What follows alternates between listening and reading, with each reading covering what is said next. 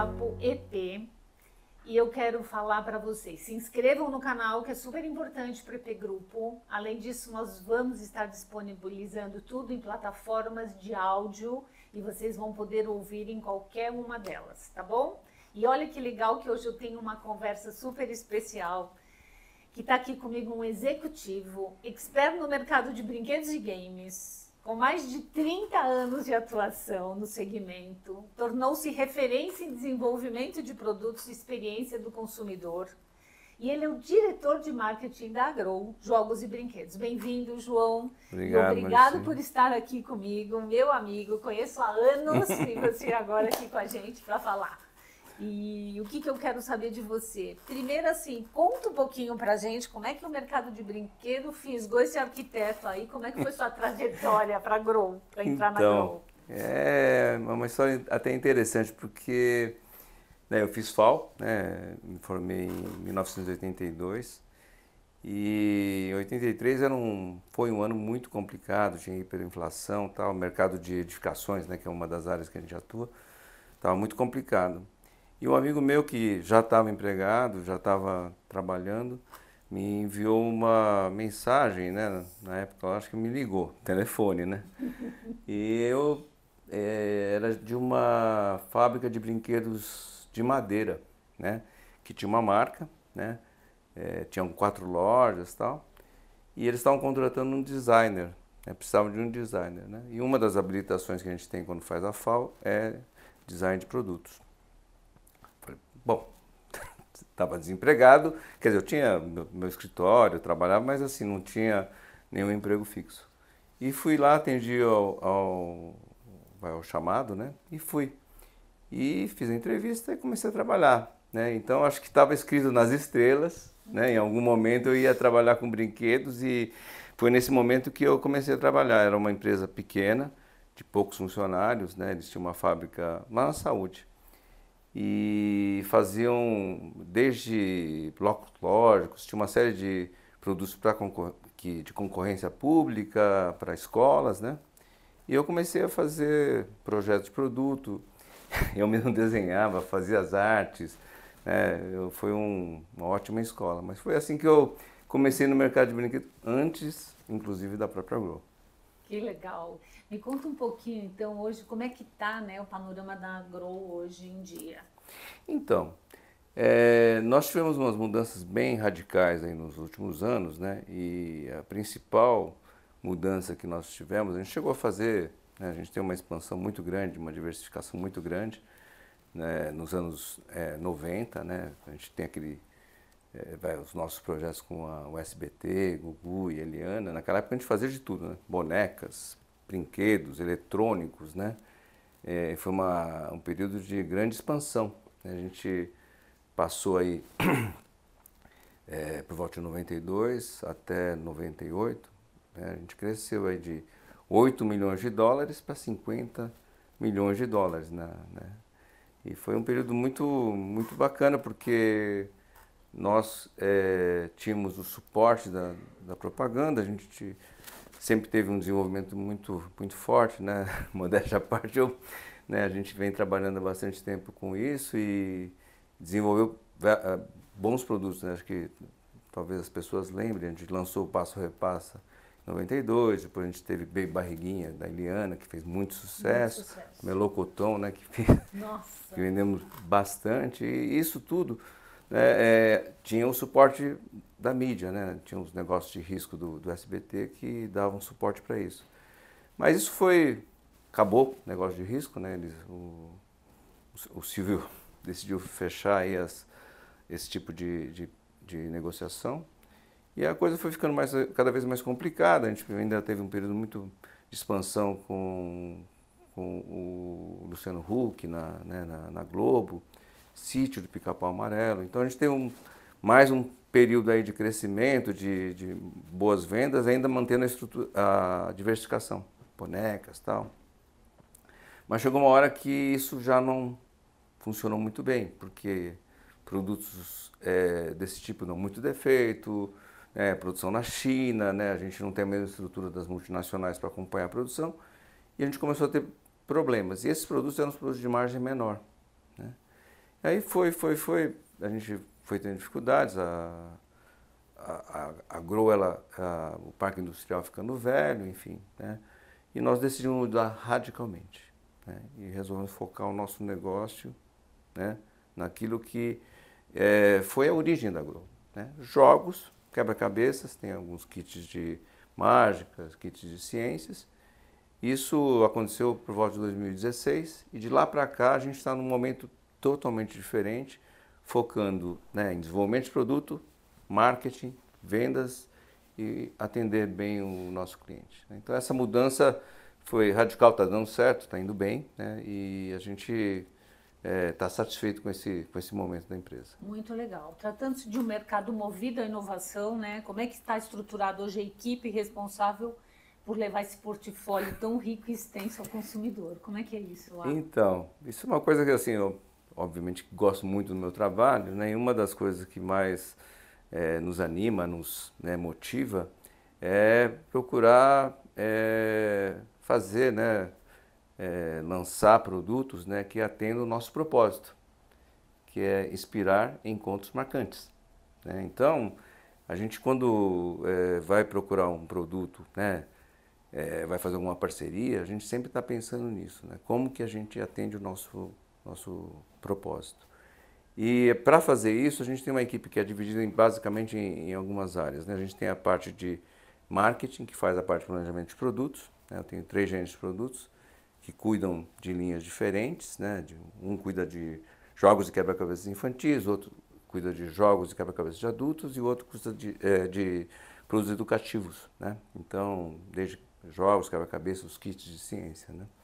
E esse pessoal, né, vai, a gente vai montando, né, vai construindo a linha, né, com insights nossos, internos, a gente olha para o mercado, olha para o que está acontecendo aqui, lá fora, vai às feiras, enfim. A gente tem um é, trabalho de planejamento. E depois colocar isso, projetar, né, que é a equipe de desenvolvimento que é, hoje é terceirizado, né? a gente tem uma, vai, é, pessoas que trabalham para uh, Grow, né? a gente tem muita é, facilidade de lidar com isso, a gente teve fábrica, teve um, todo um, um processo aí de é, experiência que a gente tem em desenvolvimento e a, depois de feito isso a gente tem que passar para a fábrica. Né? Então tem um pessoal de engenharia que implanta o produto na fábrica. Basicamente é esse o processo, esse pessoal todo, né? E a gente está sempre à procura de é, novas ideias, novos produtos, novos materiais, para a gente ter um,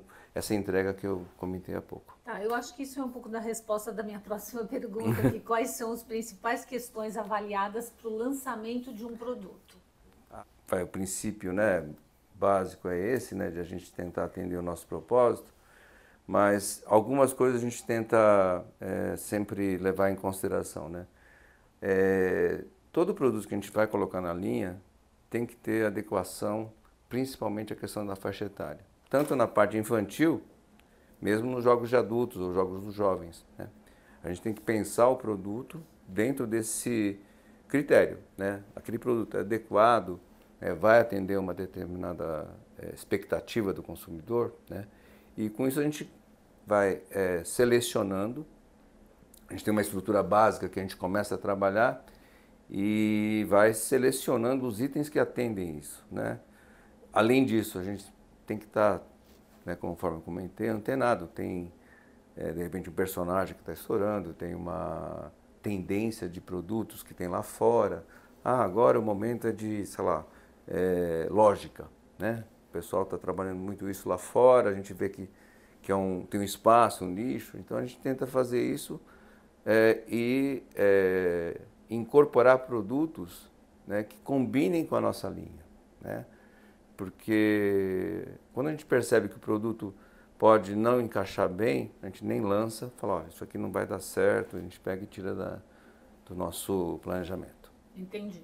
Qual que é a relevância hoje do licenciamento no mix de brinquedos e jogos da empresa? Né? Eu queria saber os top 5, hein?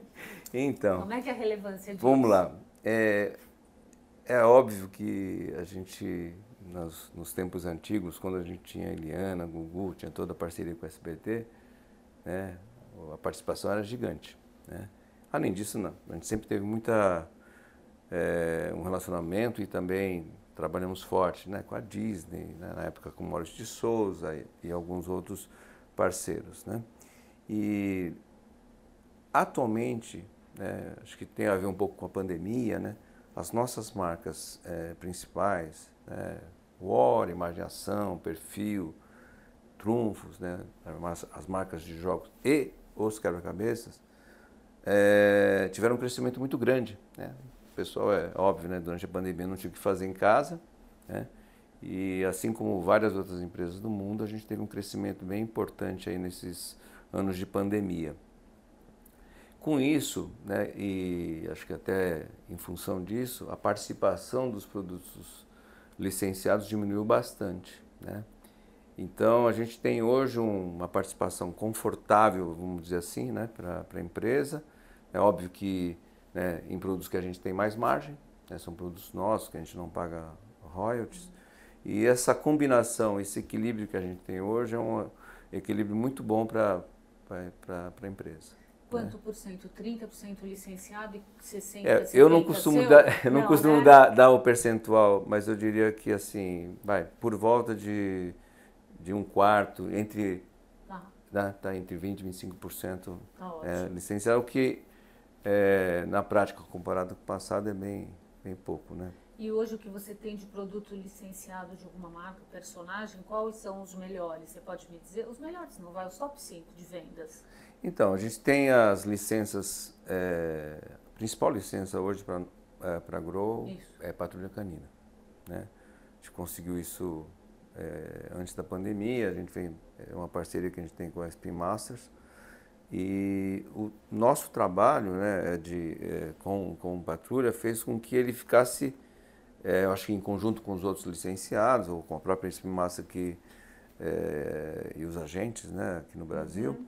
que conseguiram fazer com que a licença fosse, que durasse tanto tempo. Linear. Não é muito comum né, uma licença durar tanto tempo como o Patrulha está durando.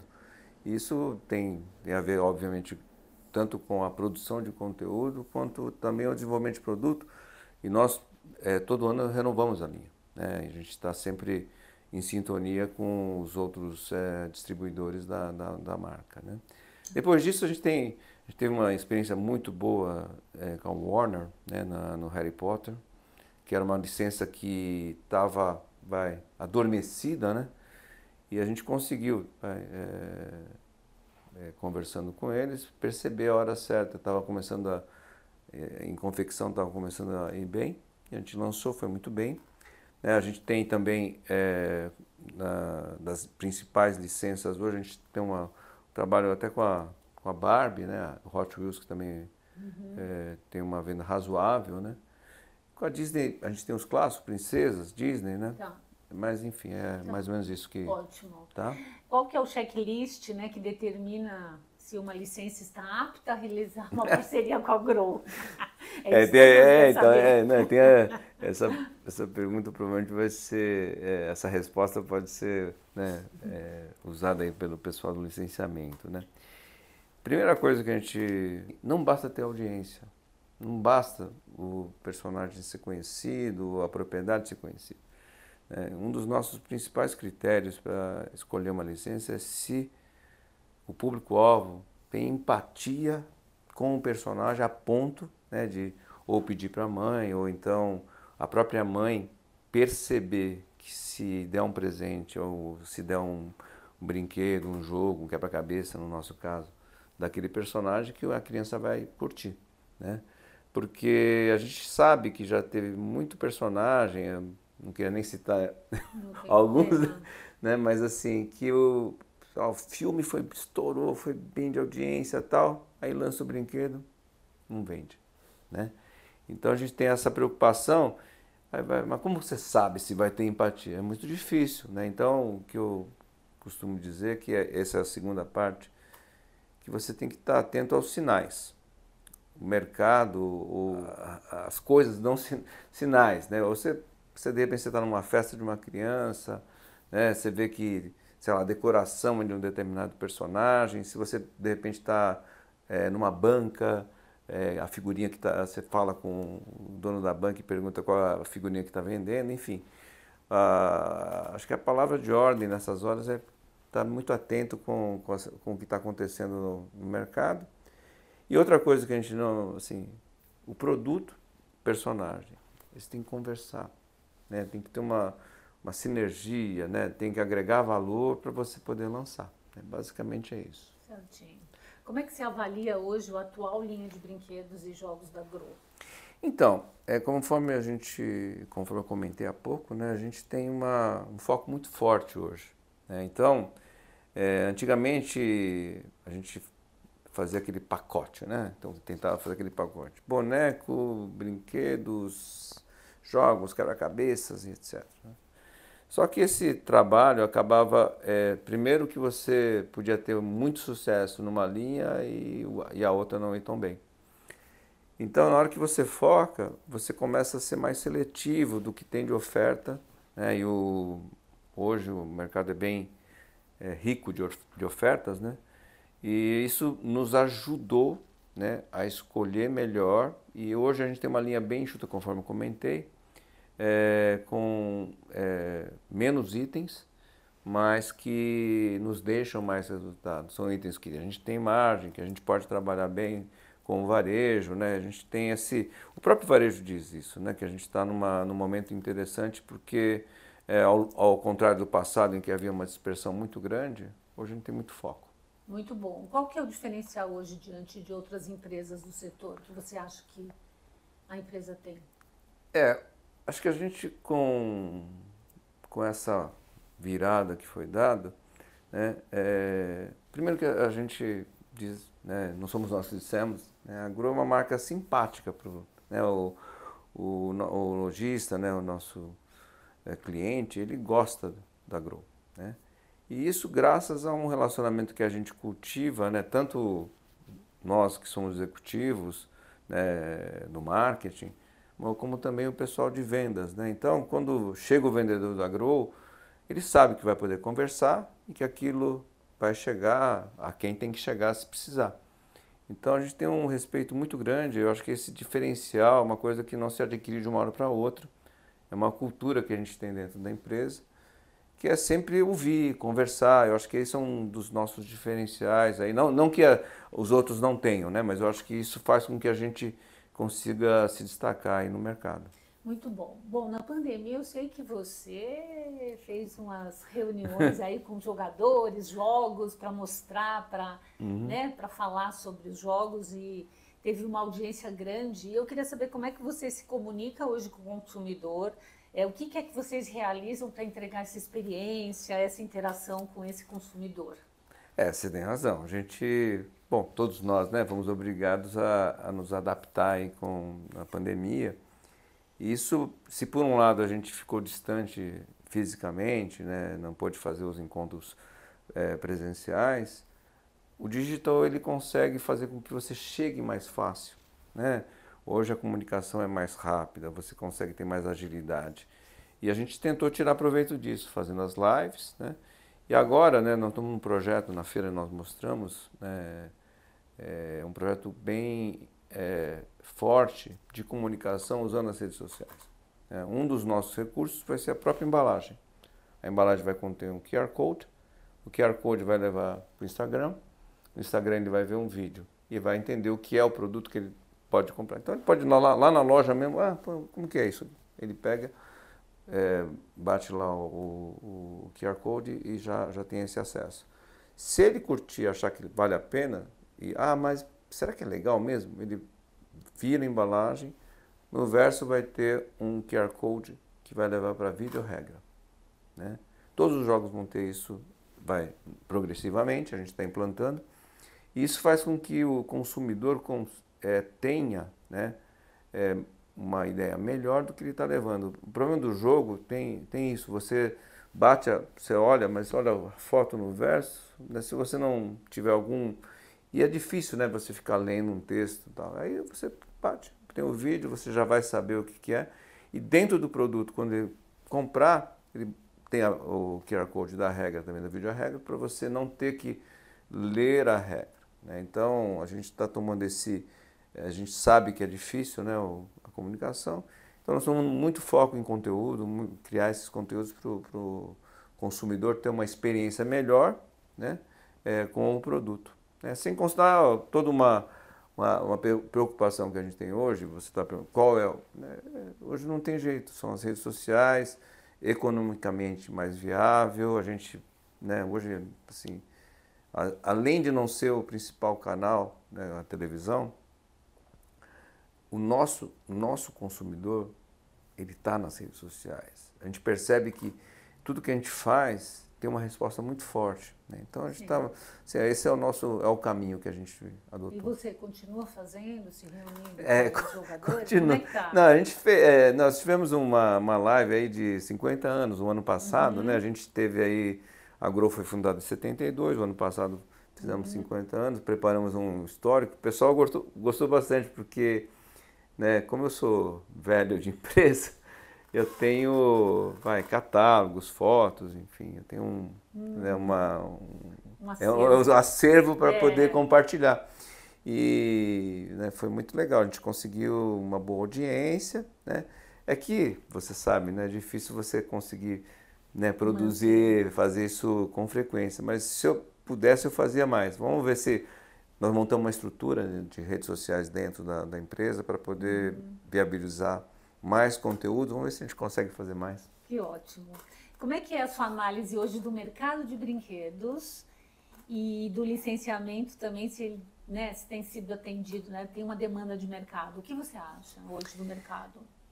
Bom, então vamos olhar primeiro para o mercado de brinquedos. Né? O mercado de brinquedos, é assim, é uma às vezes eu comento com o pessoal de fora, mas pô, você está sempre reclamando que tem alguma coisa no Brasil, né?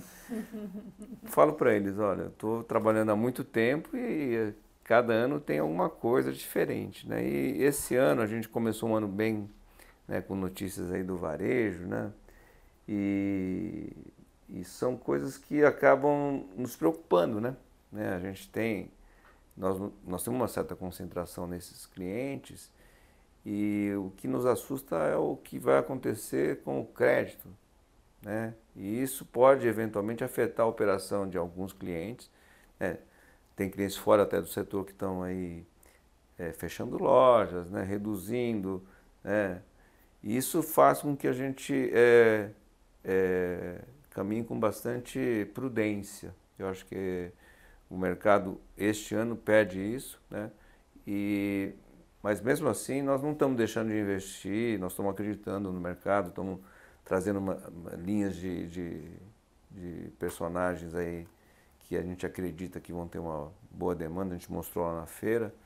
Já pulando para a segunda parte. Se você tem um cenário desafiante no, no mercado, só é a hora de você se destacar. Né? E esse, isso já a gente tem feito há, há muito tempo. E nós estamos acreditando, estamos apostando numa na Gabs Dollhouse. Né? Uhum. É, são poucas empresas que, que, que, que, entraram ou que estão trabalhando, né? A, a Sunny está trabalhando com a linha principal. Uhum. E nós estamos com a nossa linha de jogos, quebra-cabeças, que nós estamos lançando aí nos próximos, no próximo mês, aí a gente já vai ter coisa, novidade para o mercado. É, existe já uma demanda, né? O pessoal já está não está não tá tendo, não tá tendo fila, né? Mas o pessoal já já já está encomendando, né? Uma graça. É, e, é Casa da Gabi. Né? É isso. E a gente desenvolve uma linha assim bem abrangente. Aí vamos lançar, vamos, vamos ver. Que legal. Então é. manda para gente, para a gente publicar. tá pra certo. gente publicar. Para finalizar, João, eu queria saber qual é o mindset necessário para quem atua com o mercado de brinquedos ai, e personagens. É. Você é um é dinâmico, né? O mercado de brinquedos assim é, vive uma parte, né, das suas marcas, né? Tem empresas hoje que, sei lá, as grandes multinacionais, elas transformaram as suas propriedades, né, em licenciamento, né? Tanto pegando Mattel, Hasbro, né?